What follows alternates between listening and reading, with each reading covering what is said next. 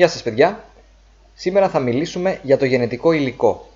Το υλικό δηλαδή, όπως το λέει και η λέξη, το οποίο περιέχει τις πληροφορίες για το πώς είναι φτιαγμένος και πώς θα λειτουργεί ένας οργανισμός. Είτε πρόκειται για άνθρωπο, είτε πρόκειται για ζώο, είτε πρόκειται για φυτό. Όλοι οι οργανισμοί έχουν κάπου μέσα στα κύτταρά τους, όπως θα δούμε, γενετικό υλικό και το γενετικό υλικό μπορεί να είναι δύο τύπων, μπορεί να είναι DNA ή RNA. Οι περισσότεροι οργανισμοί έχουν DNA ως γενετικό υλικό, κάποιοι ιοί μπορεί να έχουν RNA ως γενετικό υλικό. Σιγά σιγά λοιπόν θα αρχίσουμε να γνωρίζουμε λιγάκι αυτό το DNA, θα εστιάσουμε στο DNA, ε, θα δούμε βέβαια και το RNA λιγάκι, οπότε θα αρχίσουμε να μιλάμε για, ε, και να χρησιμοποιούμε λέξεις όπως γονίδιο, ε, χρωμόσωμα, ε, απλοειδής, διπλοειδής, αυτοσωμικό, φιλετικό. Θα αρχίσουμε να χρησιμοποιούμε λίγο αυτές τις λέξεις και να μάθουμε τελικά τι είναι το καθένα από αυτά.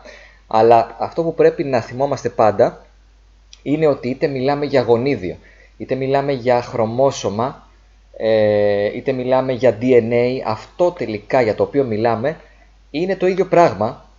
Αν θυμάστε από το πρώτο μάθημα είχαμε πει ότι τα, το DNA και το RNA είναι νουκλεϊκά οξέα και λέγαμε ότι αποτελούνται από νουκλεοτίδια. Άρα όταν μιλάμε για γονίδια, χρωμοσώματα κτλ. Αυτό για το οποίο μιλάμε ουσιαστικά είναι αλληλουχίες, σειρές δηλαδή, από νουκλεοτίδια. Πολλά νουκλεοτίδια μαζί φτιάχνουν ε, το γενετικό υλικό.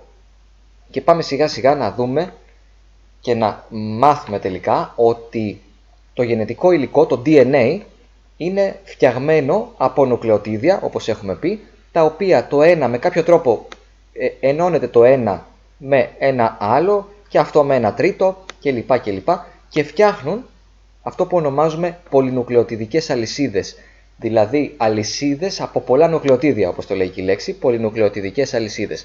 Το DNA έχει δύο τέτοιες αλυσίδες, μία είναι αυτή, βλέπετε εδώ, και μία είναι αυτή, οι οποίες με κάποιο τρόπο ενώνονται μεταξύ τους και μπλέκουν τελικά και φτιάχνουν αυτό που ονομάζουμε διπλή έλικα του DNA.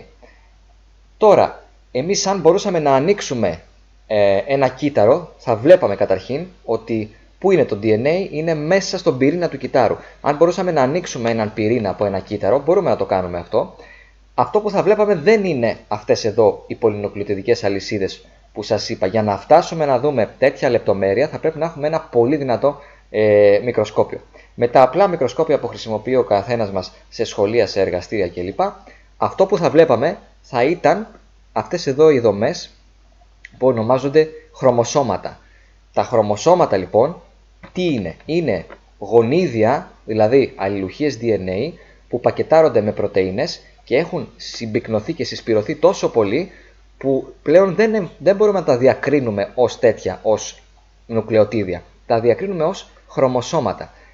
Είναι σαν να έχεις φτιάξει ε, από τουβλάκια Lego για παράδειγμα μια τεράστια κατασκευή και πλέον δεν ξεχωρίζεις τα τουβλάκια Lego. Όμως η κατασκευή αυτή αποτελείται από, από τέτοια, από Lego αποτελείται, από τουβλάκια. Έτσι. Άρα και τα χρωμοσώματα λοιπόν δεν ξεχωρίζεις πλέον τα νουκλεοτίδια, όμως αποτελείται τελικά από νουκλεοτίδια και το χρωμόσωμα. Και άρα τελικά μιλάμε για χρωμοσώματα. Λέμε ότι το DNA οργανώνεται σε χρωμοσώματα. Τι είναι δηλαδή τα χρωμοσώματα, είναι ε, συμπυκνωμένες, συμπυκνωμένα ας πούμε γονίδια πακεταρισμένα με πρωτεΐνες που είναι τόσο συμπυκνωμένα ώστε να χωράνε μέσα στον πυρήνα ε, του κυτάρου. Και κάθε κύτταρό μας, είτε πρόκειται για άνθρωπο, είτε πρόκειται για ζώο, είτε πρόκειται για φυτό, όλα τα κύτταρα, στον άνθρωπο έχουμε, ένας ενήλικας άνθρωπος έχει 37 τρισεκατομμύρια κύτταρα, κάθε ένα από αυτά τα κύτταρα έχει στον πυρήνα του χρωμοσώματα. Για τον άνθρωπο έχουμε ένα συγκεκριμένο αριθμό χρωμοσωμάτων, 46. Ο άνθρωπος έχει 46 χρωμοσώματα στον πυρήνα του. Ε, αυτά είναι τα χρωμοσώματα. Και αυτά τα 46 χρωμοσώματα οργανώνονται σε ζευγάρια, είναι, είναι σε ζευγάρια ανά δύο. Και από πού μπορεί να βρήκαμε εμείς αυτά τα ζευγάρια; Ένα το έχουμε πάρει από τη μητέρα και ένα από τον πατέρα. Σε κάθε ζευγάρι, έτσι. Άρα Αφού ο άνθρωπος έχει 46 χρωμοσώματα, 23 έχουμε πάρει από τη μητέρα μας και άλλα 23 έχουμε πάρει από τον πατέρα μας. Λοιπόν, και μπορούμε πλέον να αρχίσουμε να μιλάμε για ομόλογα χρωμοσώματα.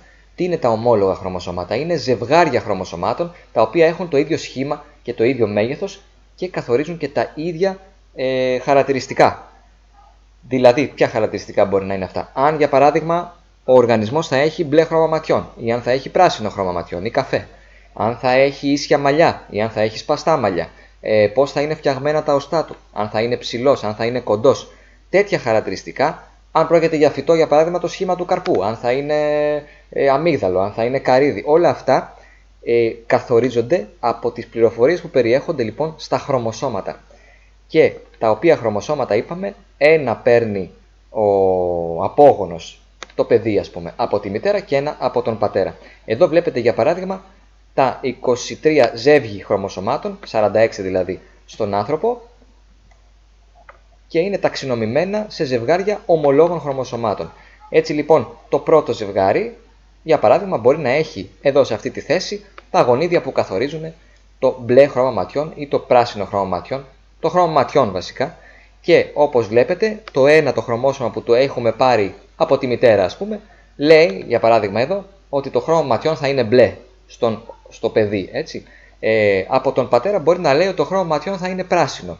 Τέλος πάντων με κάποιο τρόπο ε, προκύπτει το ένα από τα δύο, θα δούμε αργότερα πώς γίνεται αυτό. Σε κάποιο άλλο χρωμόσωμα για παράδειγμα μπορεί να υπάρχουν τα γονίδια που καθορίζουν το σχήμα των μαλλιών, αν θα είναι ίσια ή κατσαρά. Ε, προσέξτε ότι ένα χρωμόσωμα έχει είναι πάρα πολύ συμπυκνωμένο, δηλαδή έχει πάρα πολλά χιλιάδες νουκλεοτίδια. Έτσι και άρα έχει και χιλιάδες προφανώς γονίδια. Δεν σημαίνει, αυτό τώρα που το έχω γράψει, το έχω δείξει έτσι, είναι πολύ χοντροκομμένο. Έτσι. Δεν σημαίνει ότι αυτό το χρωμόσωμα για παράδειγμα έχει ένα, άντε δύο, τρία, τέσσερα, πέντε γονίδια ας πούμε. Έχει χιλιάδες γονίδια επάνω του ένα χρωμόσωμα. Καθορίζει πάρα πολλά χαρακτηριστικά. Λοιπόν, και έτσι μπορούμε τελικά να απεικονίσουμε τα χρωμοσώματα είτε του ανθρώπου είτε ενός άλλου ζώου είτε ενός φυτού ε, σε, μια, σε αυτή την εικόνα η οποία φαίνεται έτσι ωραία τακτοποιημένη και την ονομάζουμε καριότυπο. Ε, εάν προσπαθήσετε εσείς, το κάνουν οι επιστήμονες αυτό έτσι, μπορούμε να ανοίξουμε το κύτταρο, να πάρουμε από μέσα από τον πυρήνα τα χρωμοσώματα και να τα δούμε στο μικροσκόπιο. Ε, η αλήθεια είναι ότι δεν θα τα δούμε έτσι τακτοποιημένα, θα τα δούμε το ένα μπορεί να είναι εδώ, το ομόλογο χρωμόσωμα, το άλλο το ζευγαράκι του να είναι εδώ. Ε, το άλλο το 23ο ας πούμε να είναι εδώ και το άλλο το ζευγάρι του να είναι εδώ. Ο, τα βλέπουμε λίγο ε, αναμεμειγμένα μέσα στο κύτταρο. Οι επιστήμονες λοιπόν τα παίρνουν έτσι όπως είναι αναμεμειγμένα και φτιάχνουν μια εικόνα αυτή εδώ όπου είναι ταξινομημένα τα χρωμοσώματα ε, κατά ζεύγη σε ελαττούμενο μέγεθος. Βλέπετε βάζουμε πρώτα τα μεγαλύτερα, το πρώτο ζευγάρι, το δεύτερο είναι αμέσως μικρότερα και όλο και μικραίνουν όσο φτάνουμε προς το 23ο. Αυτή λοιπόν η απεικόνηση των χρωμοσωμάτων σε ζεύγη κατά ελαττούμενο μέγεθος ονομάζεται καριότυπος. Τώρα, ε, να μιλήσουμε λίγο και να ξεχωρίσουμε και να μάθουμε να γνωρίσουμε τις έννοιες απλοειδής και διπλοειδής. Εμείς τώρα λέγαμε τόση ώρα ότι ο άνθρωπος, το παιδί ας πούμε, έχει 23 ζεύγη χρωμοσωμάτων που έχει πάρει ένα από τον πατέρα και ένα από τη μητέρα. Βασικά έχει πάρει 23 από τον πατέρα και 23 από τη μητέρα, έχουμε 46 χρωμοσώματα. Άρα λοιπόν, εμείς είμαστε διπλοειδείς οργανισμοί. Δηλαδή, διπλοειδείς λέγονται οι οργανισμοί που έχουν ζεύγη ομολόγων χρωμοσωμάτων. Όπως για παράδειγμα ο άνθρωπος. Είπαμε 23 έχει πάρει από τη μητέρα, 23 από τον πατέρα, 46 χρωμοσώματα, 23 ζευγάρια. Ο κυφίνα για παράδειγμα στη μέλισσα όμως, παίρνει 16 χρωμοσώματα έχει που τα παίρνει μόνο από τη βασίλισσα. Είναι απλοειδής οργανισμός. Όπως βλέπετε εδώ στον καριότυπό του, δεν έχει ομόλογα χρωμοσώματα. Ένα χρωμόσωμα είναι το πρώτο, το δεύτερο, το τρίτο μέχρι το 16ο. Άρα λοιπόν απλοειδής οργανισμός, ο κυφίνας, διπλοειδής οργανισμός ο άνθρωπος. Έχει, ο άνθρωπος έχει ζεύγη ομολόγων χρωμοσωμάτων. Και το βλέπετε και εδώ. Το χρωμόσωμα από τον πατέρα, το χρωμόσωμα από τη μητέρα έρχονται λοιπόν στο παιδί να δημιουργήσουν το ζευγάρι αυτό στην απεικόνηση αυτή που ονομάζεται καριότυπος έχουμε πει. Ε, μία ακόμη έννοια που πρέπει να μάθουμε είναι τα αυτοσωμικά και φιλετικά χρωμοσώματα. Από τα 46 λοιπόν χρωμοσώματα που έχει ο άνθρωπος, ε, τα 44, δηλαδή από τα 23 ζεύγη, τα 22 ζεύγη, είναι αυτά τα οποία καθορίζουν όλα τα χαρακτηριστικά χρώμα ματιών, ε, δομή των οστών, σχήμα των μαλλιών, οτιδήποτε, εκτός από το φύλλο. Αυτά λοιπόν τα λέμε αυτοσωμικά χρωμοσώματα. Υπάρχει όμως και ένα ζευγάρι, το 23ο, το οποίο καθορίζει το φύλλο, αν θα είναι δηλαδή αγόρι ή κορίτσι, άντρας ή γυναίκα. Και λέμε ότι ο άντρας καθορίζεται από το ψ χρωμόσωμα. Υπάρχει το χ και το ψ που καθορίζουν το φύλλο. Όταν λοιπόν ο καριότυπος, ο οργανισμός μέσα στον πυρήνα, έχει ένα χ και ένα ψ χρωμόσωμα, τότε είναι αγόρι, είναι άντρας. Όταν έχει δύο χ χρωμοσώματα, δηλαδή έχει πάρει χ από τη μαμά και χ από τον ε, μπαμπά, θα είναι κορίτσι.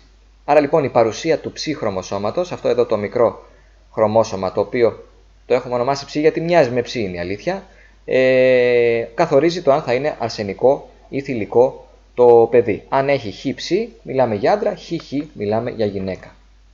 Εδώ βλέπετε μία ωραία έτσι τρισδιάστατη απεικόνηση του πυρήνα ενός κυτάρου, όλα τα οργανίδια του εδώ και μέσα στον πυρήνα βρίσκονται τα χρωμοσώματα τα οποία σας είπα ότι είναι αναμεμειγμένα έτσι, δηλαδή εδώ μπορεί να είναι το ένα χρωμόσωμα, το νούμερο 1, το άλλο ζευγαράκι του να είναι κάπου εδώ ε, και έτσι είναι η δομή ενός χρωμοσώματος. Αυτά λοιπόν τα χρωμοσώματα είναι που παίρνουν οι επιστήμονες και τα ταξινομούν έτσι σε ζεύγη κατά ελαττούμενο μέγεθος και φτιάχνουν τον καριότυπο.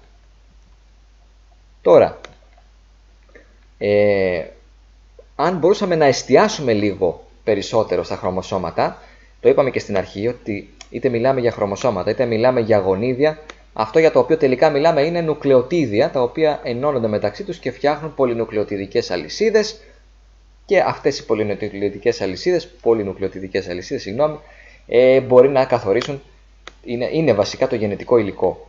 Ε, τώρα, είπαμε ότι υπάρχουν δύο τύποι γενετικού υλικού, το DNA και το RNA. Και τα δύο φτιάχνονται από νουκλεοτίδια. Δεν υπάρχει αυτό, ε, δεν είναι κάτι διαφορετικό το ένα με το άλλο και τα δύο φτιάχνονται από νουκλεοτίδια. Η διαφορά είναι ότι το DNA έχει δύο πολυνουκλεοτιδικές αλυσίδες, να τη η μία, αυτό είναι ένα νουκλεοτίδιο, εντάξει, έχει ένα σταθερό τμήμα, δεν χρειάζεται να μπούμε σε μεγάλη λεπτομέρεια, και έχει και ένα μεταβλητό τμήμα, αυτό εδώ, και πολλά τέτοια νουκλεοτίδια λοιπόν μαζί ενώνονται και φτιάχνουν μια πολυνουκλεοτιδική αλυσίδα. Έρχεται λοιπόν και μια δεύτερη πολυνουκλεοτιδική αλυσίδα να ενωθεί με κάποιο τρόπο και να δημιουργήσει αυτό που ονομάζεται DNA. Όμως αυτές οι δύο αλυσίδες δεν είναι ευθεία, δηλαδή έτσι τις δείχνει εδώ ευθεία είναι απλωμένες. Στην πραγματικότητα σχηματίζουν, περιελίσσονται έτσι μεταξύ τους και φτιάχνουν αυτό που λέμε τη διπλή έλικα του DNA. Λοιπόν, το RNA αντίθετα είναι μία μόνο πολυνουκλεοτιδική αλυσίδα. Και αυτή αποτελείται από νουκλεοτίδια αλλά δεν έχει δεύτερη, δεν έχει ζευγάρι, είναι μία πολυνουκλεοτιδική αλυσίδα, το RNA. Τώρα, ε, τα νουκλεοτίδια, όπως θα δείτε, τα ονομάζουμε εμείς με κάποια γράμματα. Έχουμε το α, το σ, το ταφ και το g. Ε, αδενίνη, κοιτοσύνη, θυμίνη, γουανίνη. Είναι ε, οι βάσεις, λέμε, του γενετικού υλικού, αζωτούχες βάσεις τις λέμε αυτές. Αν μπορούσαμε να ζουμάρουμε πάρα πολύ σε αυτά εδώ τα πράγματα, στις βάσεις αυτές, τότε θα βλέπαμε ε, άτομα θα βλέπαμε. Άνθρακες, άζωτα, υδρογόνα, οξυγόνα, όλες οι βάσεις αν το δείτε που υπάρχουν στα νουκλεοτίδια έχουν άνθρακες, υδρογόνα, οξυγόνα και άζωτα. Απλώς είναι διαφορετική η διάταξη στην αλυσίδα ας πούμε, του μορίου ας πούμε, κάθε βάσης και γι' αυτό έχουμε διαφορετικές βάσεις. Και προκειμένου να μην ζωγραφίζουμε κάθε φορά όλες αυτές τις αλυσίδες, αντικαθιστούμε όλο αυτό το πραγματάκι με με ένα γράμμα για να δείξουμε ότι είναι διαφορετικό από το άλλο. Ε, και έτσι λοιπόν μιλάμε για τέσσερα διαφορετικά νουκλεοτίδια τα οποία φτιάχνουν το DNA. Τα νουκλεοτίδια αυτά λοιπόν και ουσιαστικά είναι η βάση του νουκλεοτιδίου που αλλάζει, όχι αυτά εδώ, αυτά είναι πάντα σταθερά. Και έτσι λοιπόν λέμε ότι έχουμε τέσσερις διαφορετικές βάσεις από τις οποίες αποτελείται το γενετικό υλικό, το DNA, η αδενίνη, η θυμίνη, η γουανίνη και η κοιτοσύνη ε, και τις συμβολίζουμε με τα αντίστοιχα γράμματα. Όπου υπάρχει γουανίνη, έρχεται απέναντι από την άλλη αλυσίδα να κολλήσει με δεσμούς υδρογόνου μία κοιτοσύνη. Γουανίνη, κοιτοσύνη λοιπόν και ανάποδα. Κοιτοσύνη, γουανίνη. Ε, Τρεις δεσμοί υδρογόνου όπως βλέπετε μεταξύ γουανίνης και κοιτοσύνης. Όπου υπάρχει θυμίνη, έρχεται να κολλήσει μία αδενίνη με δύο δεσμούς υδρογόνου. Μεταξύ λοιπόν αδενίνης και θυμίνης, δύο δεσμοί υδρογόνου. Μεταξύ γουανίνης και κοιτοσύνης, τρεις δεσμοί υδρογόνου. Και έτσι λοιπόν με αυτόν τον τρόπο ε, δημιουργείται αυτό το δίκλωνο μόριο το λέμε, δύο πολυνουκλειοδυτικές αλυσίδες που σχηματίζουν αυτή την διπλή έλικα του DNA. Στο RNA τώρα, είπαμε η διαφορά είναι ότι έχει μία πολυπεπτιδική αλυσίδα, όχι δύο, και αν το δείτε εδώ, οι βάσεις του είναι ίδιες, αδενίνη, γουανίνη, κοιτοσύνη, εκτός από μία όπου αντί για θυμίνη, αντί για αυτό, έχει ουρακίλι. Αυτό εδώ. Πάλι είναι άζωτα, πάλι είναι άνθρακες, πάλι οξυγόνα, απλώς με διαφορετική διάταξη από ό,τι στη θυμίνη. Έτσι. Άρα λοιπόν, τα ξαναλέω, και τα δύο, DNA-RNA, είναι νουκλεϊκά οξέα, αποτελούνται από νουκλεοτίδια. Το νουκλεοτίδιο έχει ένα σταθερό τμήμα και ένα μεταβλητό τμήμα. Το μεταβλητό του τμήμα ονομάζεται αζωτούχος βάση. Υπάρχουν τέσσερις διαφορετικές αζωτούχες βάσεις και άρα μιλάμε για τέσσερα διαφορετικά νουκλεοτίδια που συγκροτούν το DNA, που δημιουργούν το DNA αδενίνη, θυμίνη, γουανίνη και κοιτοσίνη. Ε, στο RNA, το RNA είναι μονόκλονο, έχει μία πολυπεπτιδική αλυσίδα, το DNA έχει δύο πολυπεπτιδικές αλυσίδες και στο RNA αντί για θυμίνη έχουμε ουρακίλ. Άρα λοιπόν, γνωρίζοντας τώρα όλα αυτά, γνωρίζοντας λοιπόν ότι η βάση όλης της δομής του γενετικού υλικού είναι το νουκλεοτίδιο, θυμηθείτε αντίστοιχα το τουβλάκι Lego, το οποίο είναι η βάση με, το με την οποία φτιάχνουμε ολόκληρες κατασκευές από Lego και πλέον δεν ξεχωρίζει τουβλάκια. Τουβλάκια όμως είναι αυτά που χρησιμοποίησες τελικά. Έτσι λοιπόν χρησιμοποιούνται τα νουκλεοτίδια και το ένα ενώνεται με το άλλο και φτιάχνουν σειρές πολυνουκλεοτιδικές αλυσίδες που μπορεί να έχουν χιλιάδες ε, νουκλεοτίδια. Έτσι. Άρα λοιπόν αυτή η δομή εδώ που βλέπετε τώρα σε μεγάλη λεπτομέρεια ξαναγυρνάμε, τα είπαμε αυτά, ξαναγυρνάμε στην πρώτη πρώτη εικόνα για να δούμε τελικά ότι να τα τα νουκλεοτίδια αυτά με τις αζωτούχες βάσεις που βρίσκονται στο εσωτερικό του μορίου του DNA, να οι δύο αλυσίδες του DNA, οι πολυνουκλεοτιδικές αλυσίδες που φτιάχνονται από αδενίνη, κοιτοσύνη, θυμίνη, γουανίνη, ξανά κοιτοσύνη έχει εδώ, ξανά αδενίνη, μπορεί να έχει εδώ πάλι γουανίνη. Ε, και πολλές σειρές από τέτοια νουκλεοτίδια φτιάχνουν μια μεγαλύτερη μονάδα, συγγνώμη, που λέγεται γονίδιο, αυτό εδώ είναι ένα γονίδιο. Το γονίδιο λοιπόν είναι ε, σειρές από νουκλεοτίδια τα οποία έχουν κάποια πληροφορία για το κύτταρο.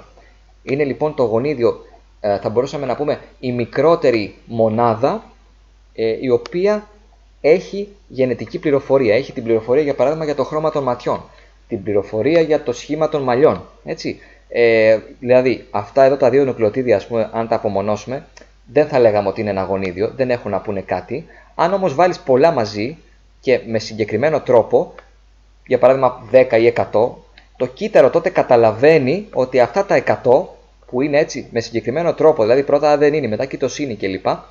Ε, λένε στο κύτταρο ότι ο οργανισμός θα έχει μπλε χρώμα ματιών ή οτιδήποτε άλλο χαρακτηριστικό. Εάν αλλάξει ένα από αυτά, τότε μπορεί να λένε κάτι διαφορετικό. Έτσι. Είναι λοιπόν σαν την αλφαβήτα, ας πούμε, αλλά αντί να γράφει για παράδειγμα μπλε χρώμα, εδώ γράφει τέσσερις διαφορετικές βάσεις, αδενίνη, κοιτοσύνη, θυμίνη, γουανίνη, που με τον τρόπο που συνδυάζονται εμείς δεν μπορούμε να καταλάβουμε τίποτα, αλλά το κύτταρο καταλαβαίνει όλα τα χαρακτηριστικά που θα πρέπει να έχει ένας ε, οργανισμός. Άρα λοιπόν γονίδιο είναι αυτό, ένα γονίδιο πιο δίπλα και άλλο γονίδιο εδώ, πολλά γονίδια λοιπόν πακετάρονται, συμπυκνώνονται, περιελίσσονται γύρω από πρωτεΐνες και συμπυκνώνονται τόσο πολύ που πλέον δεν βλέπεις καν τις βάσεις του γενετικού υλικού, τις αζωτούχες βάσεις, αλλά βλέπεις στο μικροσκόπιο, και εννοείται όχι με γυμνό μάτι, στο μικροσκόπιο βλέπεις χρωμοσώματα. Και μέσα στον πυρήνα του κυτάρου υπάρχουν στον άνθρωπο 46 χρωμοσώματα, 23 ζεύγη, όπου τα 23 τα πήραμε από την μητέρα και τα 23 από τον πατέρα.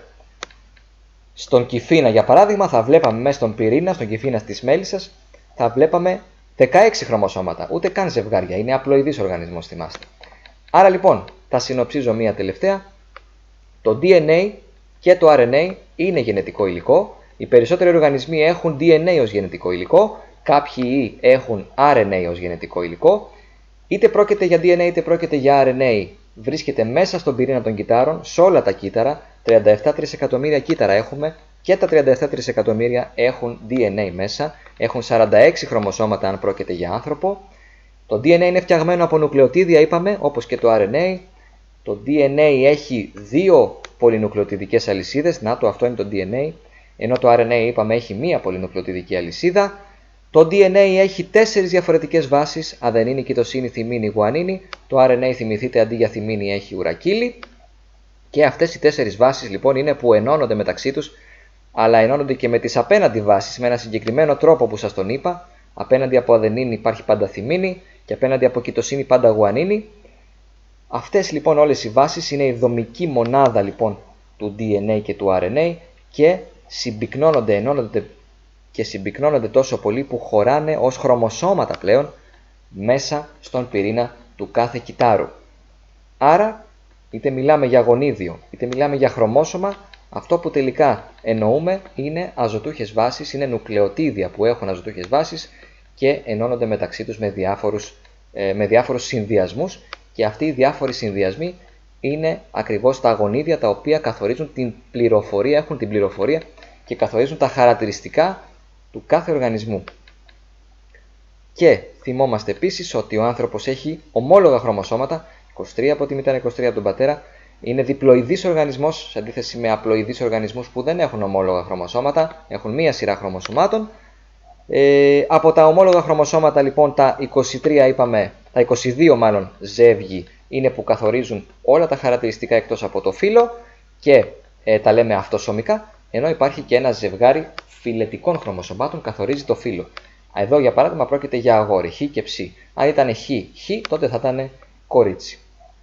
Συνεχίζουμε λοιπόν την επόμενη φορά, στο επόμενο μάθημα, με τις διαδικασίες, να περιγράψουμε τις διαδικασίες της αντιγραφής και μεταγραφής του DNA, οι οποίες είναι τόσο σημαντικές ώστε να μεταφερθεί αυτή η πληροφορία που είπαμε ότι υπάρχει στο DNA ε, στο εξωτερικό του πυρήνα για να αρχίσει τελικά ο οργανισμός να λειτουργεί και να λειτουργεί ε, σωστά.